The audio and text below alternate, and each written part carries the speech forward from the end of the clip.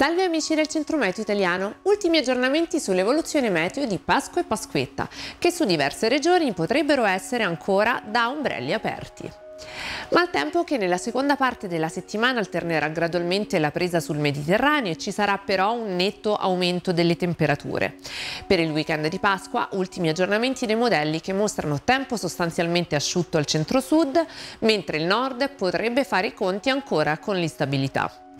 Attenzione invece per Pasqua, quando sia il modello GFS che l'europeo eh, mostrano il transito di una perturbazione atlantica con piogge temporali soprattutto al centro-nord. Ancora correnti occidentali nella prima parte di aprile con alternanza di fasi asciutte a qualche pioggia. Data l'incertezza, seguite però tutti i prossimi aggiornamenti sia sul nostro sito che sul nostro canale YouTube. Un saluto da parte del Centro Meteo Italiano.